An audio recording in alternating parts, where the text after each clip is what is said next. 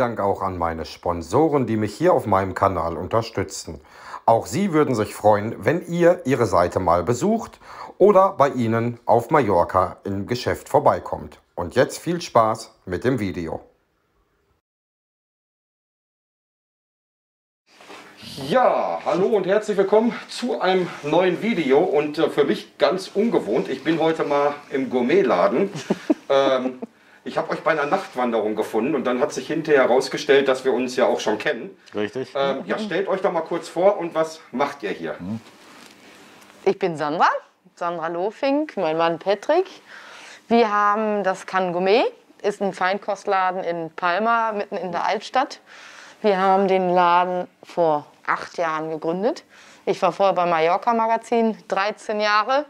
Und irgendwann durch die wirtschaftliche Krise 2008, 2009 haben wir uns dann überlegt, selbstständig zu sein und zu werden und den Laden zu öffnen.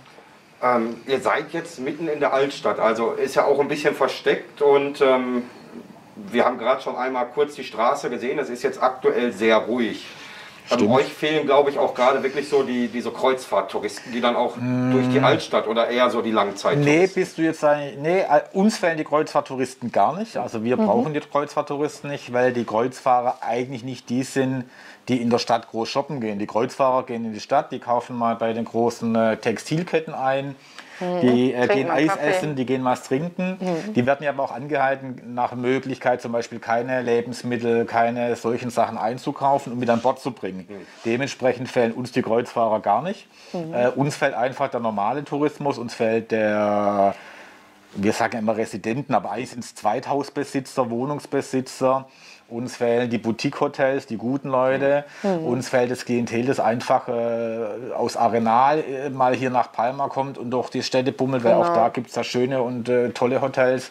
Uns fehlt der allgemeine Tourismus. Der Kreuzfahrer ist per se gar nicht unbedingt äh, unser Klientel, das uns fehlt. Der fehlt mir den Eisdielen und den Cafeterien und so weiter. Genau. Wie ist das aktuell bei euch? Kommen denn bei euch mittlerweile auch viele Spanier einkaufen, weil ihr auch also spanische Produkte habt oder sind es wirklich mehr so die deutschen, englischen Resisten äh, Resistenten, Residenten.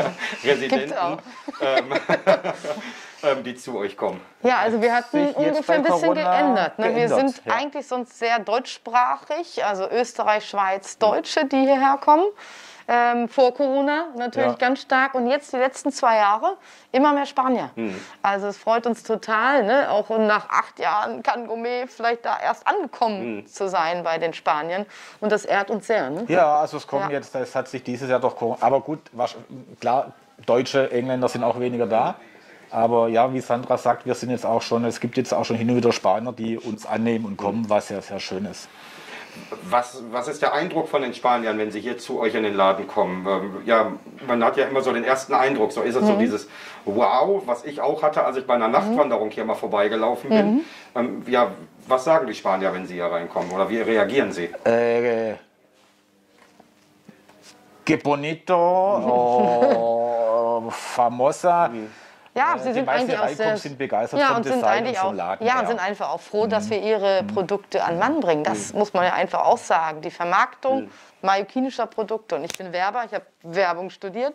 Und für mich ist das ganz wichtig, Optik und natürlich der Inhalt muss stimmen. Ne? Und deshalb, wir gehen auch auf unsere eigenen Sachen, auf ganz kleine Produktionen an der Insel. Meist sind das Ein-, Zwei-Mann-Betriebe. Und Das, Toll. das fehlt mir, glaube ich, auch so ein bisschen, auch wenn man so im, im Lidl oder so guckt oder im Mercadona, um jetzt mal mehr zu nennen, oder Aldi und Carrefour und Eroski, dann haben wir die größten jetzt, glaube ich, genannt und Bib nehmen wir auch noch dazu. Genau. Ähm, das fehlt mir immer so ein bisschen. Man hört dann immer zum Ende der Orangenernte, hört man von ganz vielen Feldern in Soyer, wir verschenken unsere Genau. Orangen, kommt hier hin, ihr müsst sie nur pflücken. Genau. Man vermisst irgendwie so ein bisschen auch in den großen Supermärkten diese mallorquinischen Produkte. den regionalen Bezug. Ja, ne? der Ja, regionale Bezug ist halt auch ein bisschen schwierig aus dem Grund, es ist im Prinzip günstiger, die Orangen vom Festland hierher zu holen, als äh, die Orangen hier zu nehmen. Liegt natürlich auch daran, brauchen wir nicht sagen, Mallorca ist teurer. Mhm. Wenn ich in Andalusien äh, auf dem Feld meinen Mitarbeiter zahle, ist der viel günstiger, als wenn ich den hier zahle, um Mhm. die Orangen zu ernten. Und dementsprechend ähm, ist es leider häufig so, dass selbst die Mallorquiner dann eher die Orangen vom Festland kaufen, statt von hier. Und daran äh, liegt es dann auch zum Teil. Obwohl das Bewusstsein die letzten Jahre zugenommen hat. Es steigt. Es steigt. Ne? Also das merkst du schon auch an unserer Kundschaft. Die fragt einfach, wo kann man hier wir regional auf den Wochenmärkten wirklich das aktuelle, das Obst und Gemüse kaufen. Und das fängt langsam an. Das Und braucht man halt muss natürlich Zeit. aktuell auch sagen, es gibt einfach natürlich auch momentan in der Situation durch Covid, gerade im spanischen Bereich, einfach auch Leute, die gerne einen Wein trinken, aber sich trotzdem nur einen Rioja vom Festland leisten können, weil sie Mhm. einfach sagen, die mallorquinischen sind ein Tick teurer. Und das muss man auch verstehen und muss man auch akzeptieren, dass eben nicht jeder momentan den regionalen Bezug, es hört sich blöd an, aber leisten kann. Weil es ist einfach, die Massenweine vom Festland sind günstiger. Und wenn du gerade in Spanien lebst, du bist Mallorquiner und du hast kein Einkommen, dann kaufst du Dann lieber einen Wein für so aus. 5 Euro statt für 10 oder 11 Euro. Und das ist auch verständlich. klar. Ähm, ihr arbeitet ja auch mit vielen mallorquinischen Betrieben zusammen. Wie ist so die Reaktion, wenn ihr erst einmal zu, ich sag jetzt mal, zu, ähm, ja, zu einer Weinfirma hingeht und sagt, hier, wir haben hier einen Gourmetmarkt, wir möchten gerne mit euch zusammenarbeiten. Ähm, viele denken ja immer so, ja, da ist so eine Barrikade. Ihr seid ja jetzt auch schon eine Zeit auf Mallorca.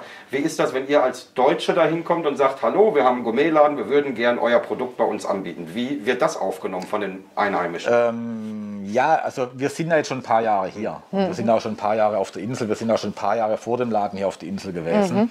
Und wir sind ja schon äh, mehrere Jahrzehnte, Jahrzehnte hier. Und äh, natürlich ist es so am Anfang, wo man einen Laden neu aufmacht und du kommst neu hin, ja, dann kann es auch mal sein, dass es heißt, ja, ja, nett und dann melden sie sich doch nicht Nee, mehr. genau. Aus dem Auge Sinn. Zwischenzeitlich Ne? ist es so, dass wir Ja. dankbarerweise sagen müssen, dass sie auch zu uns kommen. Ja. Und das ist... Äh, Jetzt geht dein Telefon, geh ruhig dran. Telefon. Miss Marple. Dann erzähl du einfach weiter. Also, ähm, wir probieren, ich sage jetzt einfach mal, ne? wir gehen zu einer Olivengeschichte und sagen einfach, mh, am Anfang haben wir das Design aufgenommen von dem jeweiligen Hersteller. Ich sag mal, da gibt es viele Olivenölhersteller und irgendwann sagen wir uns, hat das Öl so gut geschmeckt, wir wollen ein eigenes Design, eigenes Logo, wir gehen auf Messen nach Deutschland und da möchten wir natürlich unsere eigene Marke Und wir vermarkten. nehmen dann halt auch Ja. diesen Olivenöl exklusiv von einem Freund von uns zum Beispiel und sagen, Da okay, so eine die Finke Oliven hat. sind unsere, handgepresst, Genau.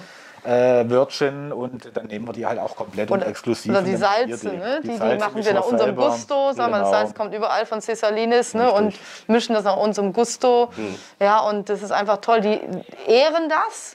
Gerade zum Beispiel Capra Bock, der Gin aus Soyer, ne? das ist eine mallorquin-deutsche äh, Firma. Die äh, finden das mega, wenn wir einfach mit Ja. einem kleinen Laden so gut verkaufen, wie manche ne? andere Ja. nicht. Das ist einfach eine Ehre. Und nochmal zurückgehen zu deiner Frage vorher, wo ich dann kurz das Telefon abgeschaltet habe.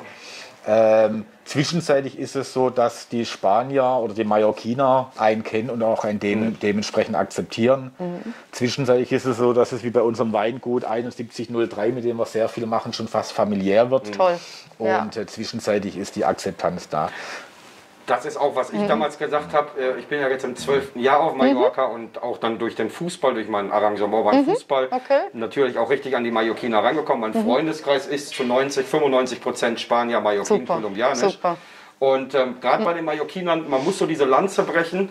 Und wenn man die Mhm. einmal gebrochen hat und wirklich den ihr Herz erobert hat, dann Ja, merkt man auch, man genau. wird zum Barbecue eingeladen, Ja. dann wird man nach Hause Familie, eingeladen. genau. Ne? Und genau. dann weiß man auch wirklich, man ist angekommen. Das ist toll, ne? Man braucht ich so. Genau, sieben genau Jahre, so dasselbe. sieben, Ja. acht Jahre brauchst du. Und wenn du dann bereit bist, dich zu integrieren und dann bereit bist zu geben, dann fängt es so nach sieben, acht Jahren an. Es hört sich blöd an, aber es ist, es ist echt so eine Zahl. Und dann die kommt man Zeit. langsam rein. Das wirst du auch. Du wirst sechs, sieben, acht Jahre gebraucht haben. Und dann bist du drin und dann, äh, dann bist du auch richtig drin. Dann bist du auch äh, dabei. Ja, Wir sind halt immer Insel ne? und Insulaner ticken anders. Das ist bei Ja. uns auf Sylt genauso. Ne? Und ähm, ist aber einfach ein schönes Gefühl, nach den Jahren angenommen zu sein. Ja, ne? absolut. Und äh, wie gesagt, mallorquinisch, wir haben so gute mallorquinische Produkte und, und wenn es an der Vermarktung liegt, ne? Ja, ich habe gerade was ganz Interessantes gesehen übrigens und das hole ich mal ganz kurz. Das zeige ich euch noch mal kurz in die Kamera. ähm, das ist ja eigentlich so das Richtige für mich. Ich halte es noch mal kurz in die Kamera. Goldene Mandeln. Blinky, blinky. So, blinky, blinky. Wie ist es denn auf die Idee gekommen, goldene Mandeln ähm, ja, auf den Markt Naja, zu bringen? wir Oder gab es das vorher schon?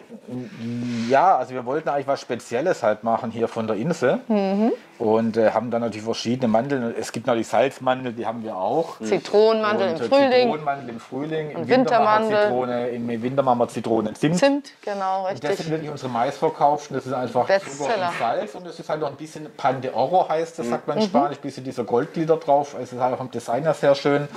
Und äh, ja, kam aus einer Idee, Mhm. weil wir wir ja vor acht Jahren mit dem ersten mallorquinischen Gin anfingen, das ist der Cabra Bock aus Soyer.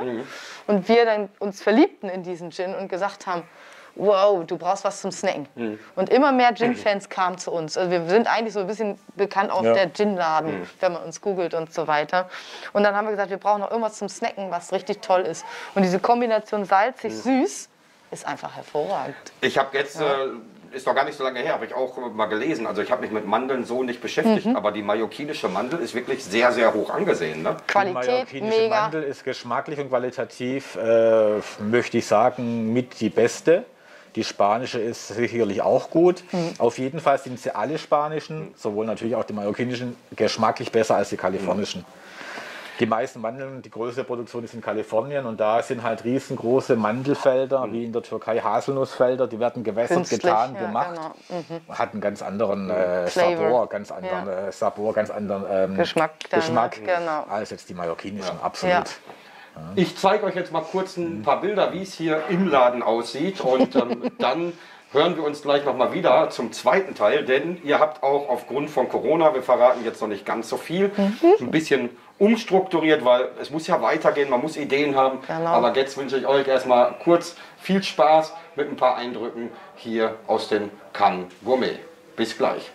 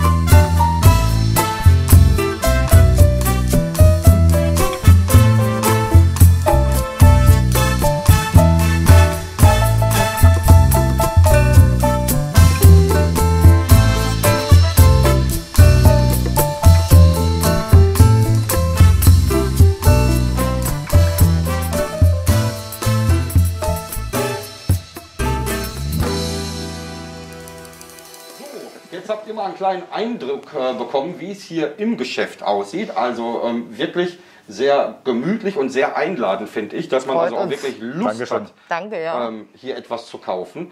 Ähm, aber jetzt erzählt ihr doch mal, ähm, ja, wie ist so bei euch die Situation im Moment? Äh, durch Corona, wenig äh, Touristen auf der Insel.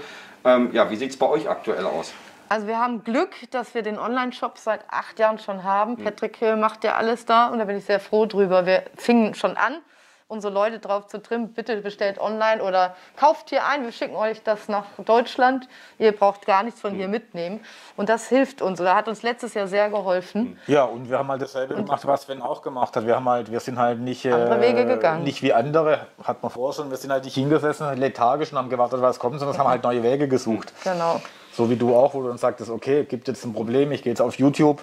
So haben wir angefangen, Online-Tastings zu machen. Wir machen dann Online-Tastings mit unseren Kunden über Zoom und äh, Mit, über Wein und machen Gin. wir ne? über Social Media, um mit den Genau. Leuten aktiv zu sein Genau. und haben halt probiert, neue Wege zu suchen. Und das ist das, was du machst, das ist das, was wir halt auch genauso machen. Genau. Ich werde am Ende des Videos auch nochmal eure, euren Online-Shop einbinden und Super. auch euer Instagram und Facebook. Ähm, wenn ihr da Lust drauf habt, natürlich, ähm, dann schaut einfach mal rein, nehmt einfach mal Kontakt auf. Und ähm, ja, wie ist, wie wird der Online-Shop denn aktuell angenommen? Ist mehr Bestellungen, die jetzt wirklich auch von Mallorca weggehen oder sind es viele Leute, die auch hier auf Mallorca online bei euch bestellen? Wo- Es ist eigentlich mehr, was weggeht. Was also es ist weggeht, mehr, genau. also wir haben Ja. wirklich eine Logistik gefunden, auch mit einem äh, Transport nach Deutschland, Lagern Deutschland und so weiter. Mhm. Und äh, nee, es ist schon so, dass äh, Online-Versand mehr weggeht. Wir haben ab und zu mal Kunden auf der Insel, die einen Geschenkkorb wollen, weil Genau. Sandra macht tolle Geschenkkörbe und die wir dann ausliefern. Wir haben ab und zu mal Kunden, die dann hier Wein bestellen, ein paar Kisten, die Mhm. wir liefern.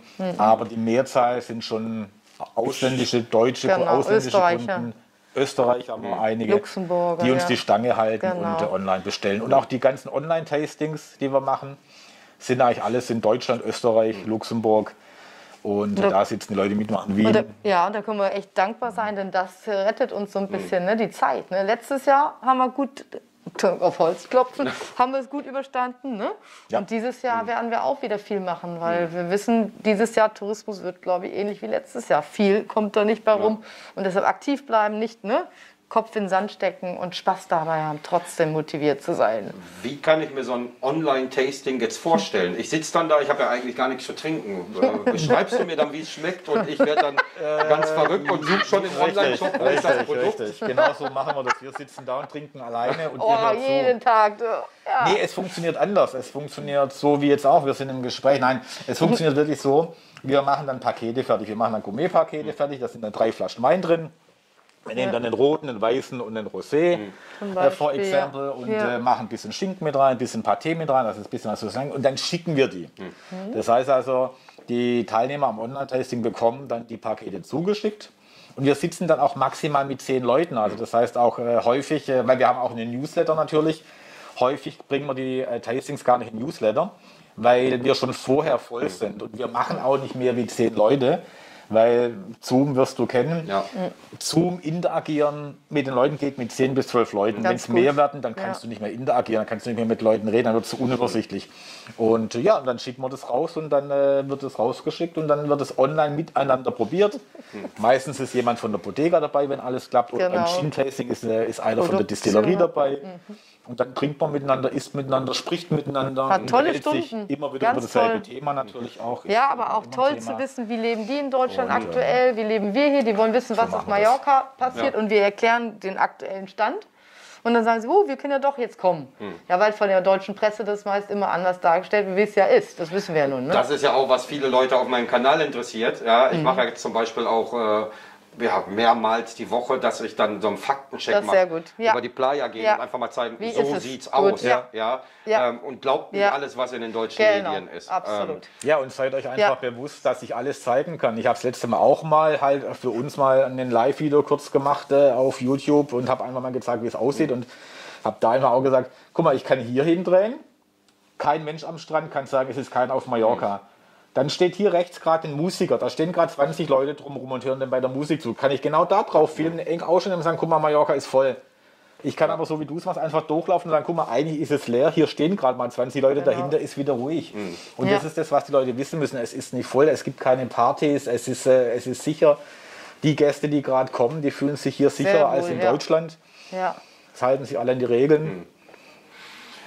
Wir haben Also. uns auch gerade noch was überlegt, ähm, ja, um Genau. das Video so ein bisschen ähm, publik zu machen. Und zwar, ähm, ja, ihr könnt mal kurz sagen, was das ist. Ähm, und ja, dann erzähle ich nochmal, was die Leute machen müssen, Genau. um diese Flasche zu bekommen. Genau. Das ist ja unser eigens hergestellter Rum von der Insel, ähm, der letztes Jahr auch online-shopmäßig das ne, der meistverkaufteste Artikel war. Wenn du einmal probiert hast, willst du ihn. Ja, und das ist einfach so ein ganz tolles Produkt, hat 53 Prozent. aber einen sehr schönen äh, Karamell-Schokoladen-Aroma. Mhm. Also der ist ganz, ganz toll. Wie die Mallorquiner gerne Carajillo machen, kannst du ihn genauso mischen zum Kaffee, kannst ihn aber auch ganz gut pur trinken. Ja, und ähm, diese Flasche werden wir verlosen. Genau Und diese. Genau, Genau stehen diese. jetzt weg, bis ihr in den Laden kommt. Genau. Genau diese. Also, ich muss es dann anders sagen. Eine dieser Flaschen könnt ihr gewinnen. Und ähm, ja, wir verschicken ihn nicht, weil wir sagen, es ist ein Gewinnspiel und das dann auch noch zu verschicken, wäre irgendwie dann auch blöd, auch gerade die äh, schwierige Zeit. Wenn ihr beim Gewinnspiel mitmacht und diese Flasche gewonnen habt oder eine ähnliche Flasche, ähm, dann könnt ihr euch die hier im Laden abholen. Wir und freuen uns sehr. Findet ihr ja dann auch noch das ein oder andere Produkt, ähm, was euch noch interessiert, wie zum Beispiel mein Favorit. Ich habe überall so ein bisschen Gold an den Finger. Ich habe sie gerade probiert, die goldenen Mandeln. Und ähm, könnt dann vielleicht auch noch das ein oder andere hier kaufen. Wie Super. das Ganze funktioniert, ist ganz einfach. Ihr müsst dieses Video teilen, müsst ähm, auf Facebook, Instagram einmal entweder, oder wir machen es so, euch markieren mit Can Gourmet und mich markieren mit Sven González Mallorca einen netten Text dazu schreiben, Video teilen und dann seid ihr beim Gewinnspiel mit dabei. Also ganz einfach. Ja, wir wollen einfach ähm, jetzt auch in dieser schwierigen Zeit, dass kleine Unternehmen ein bisschen Werbung bekommen. Äh, ich nehme für diese Werbung hier auch kein Geld, keine Frage. Ja, das ist so ein Win-Win-Geschäft. Ja, eine Hand hilft der anderen. Ja, es wird was verlost. Das ist was Gutes für euch. Ich mache was Gutes für euch. Ich habe wieder ein neues Video und so ist im Endeffekt allen geholfen und so sollte es doch, glaube ich, dankbar. auch Absolut. sein in Sind dieser Zeit, sehr, sehr oder? dankbar. Absolut schön, dass du da warst. Ja. Ja, vielen, Vielen, Dank, dass wir genau. uns in, dich in unser kleines Ja. Gourmet-Paradies ein bisschen einführen ja, durften. vielen, vielen Dank. Und äh, wir werden sicherlich wieder weiterhin voneinander hören. Das auf jeden Fall. Wir haben uns ja, wie gesagt, damals ähm, auf dem Weihnachtsmarkt äh, kennengelernt, als die Weihnachtsbeleuchtung angeschaltet werden sollte. Ich hatte eine Zeit, äh, die nicht stimmte. Du hattest ähm, einigermaßen die korrekte Zeit. Das war, glaube ich, auch ein paar Minuten später. Ne? Drei Minuten. Ja, Und ähm, dann konnte ich gerade noch live gehen und dann war der Gimbal leer und ähm, auch das Handy leer. Mala suerte. Ja, Dafür war ich dann noch online und habe dann noch einen schönen Rundgang durch Palma gemacht mit der Weihnachtsbeleuchtung, während leider Sven in dem Fall Genau. offline war, konnte ich mein Live-Video beenden, weil ich zum Glück in dem Fall die besseren Infos hatte, wann das Licht angeht. auch das Ah, passiert. so. Und du vorher schon eine. Stunde, zwei Stunden durch Palma gelaufen bist und probiert hast und immer online warst und dann war es halt bei dir weg. Genau. Das Ähm, ist halt Technik. Ne? Ja, und so klein ist Mallorca. Toll. Ne? Genau. Ja, Nach schön. kurzer Zeit trifft man sich wieder. Schön. Und ähm, ja, wenn euch dieses Video gefallen hat, dann dürft ihr gerne ähm, einen Daumen nach oben da lassen und auch gerne unten in die Kommentare was Nettes reinschreiben. Und ähm, ich habe jetzt auch noch mal vor, ähm, einfach von euch die Daten einzublenden, dass man weiß, wo ihr seid. Mhm. Sehr und gerne. wenn ihr auf Mallorca seid, kommt einfach mal hier hin oder auch auf Facebook, Instagram Genau. und ähm, wo auch immer einfach mal ein Gefällt mir da lassen. Da freut ihr euch wahrscheinlich auch drüber. Absolut. Freuen wir uns sehr. Absolut. Sven. Vielen, vielen Dank. Danke, dass ich Ganz hier toll. sein durfte. Ich, ähm, Danke, dass du da warst. Ich, ich werde mir vielleicht jetzt noch irgendwas kaufen. Ich muss mal gucken. Ich habe ja was ins Auge gefasst, aber da, da muss ich erst wieder hart verhandeln. Wenn ich das kaufen sollte, werde ich es euch zeigen. Äh, und zwar heute Abend im Sven Gonzales Late Night Talk. Und das werde ich dann wahrscheinlich auch probieren. Jetzt sage ich erstmal Danke, habt einen schönen Tag. Wir sehen uns später wieder. Euer Sven Gonzales. Adios. Ciao, adios. Macht's gut, ihr Lieben. Bleibt gesund.